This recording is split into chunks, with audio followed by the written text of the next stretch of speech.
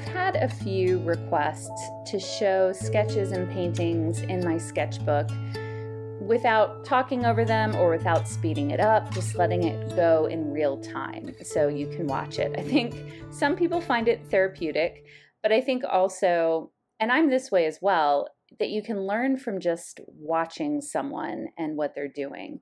So I'm using acrylic paints for this painting.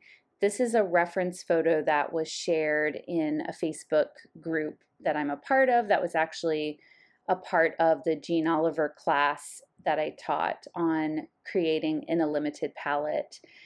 And I'm using acrylic paints. I'm thinning this coat here. This is kind of an underpainting and I'm thinning it down quite a lot with water. It's a mixture of ultramarine blue and burnt sienna to make this kind of very neutral brown. And this is just helping me sort of establish the composition and also get some paint on the paper. Sometimes when you're working on just a white piece of paper, it can be a little a little intimidating, but also then I don't want to end up with white paper showing through. So I like to do an underpainting. It just kind of helps me get started doing some sketching with paint and then I'll start to add color over it.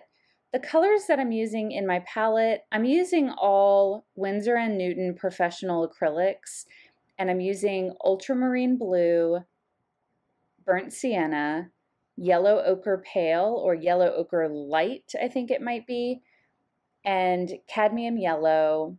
And then I'm also using a Charvin color, I think it's called Leaded Sky.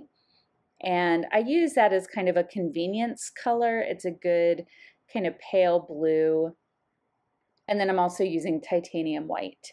And I'm mixing everything just on a paper palette.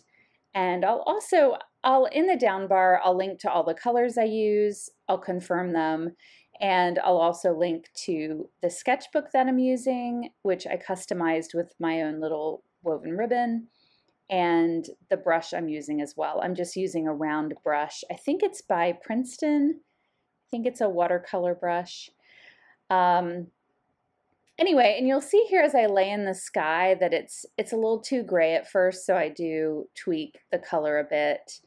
And I sort of work, I don't know, I'm trying to explain my process. Um, I try to work on the large shapes and to get paint down in the larger shapes first, and then you'll see I start to get more and more detailed. And I also primarily, not in every instance, primarily work from dark to light when I'm using acrylics and oils. Sometimes I'll work in sections, like from the sky down or from the back forward.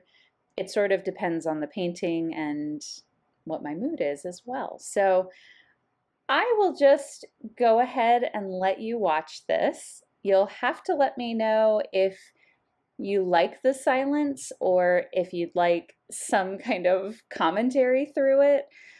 We're going to give this a try, just me being quiet and letting you watch the process of making this sketch in my sketchbook.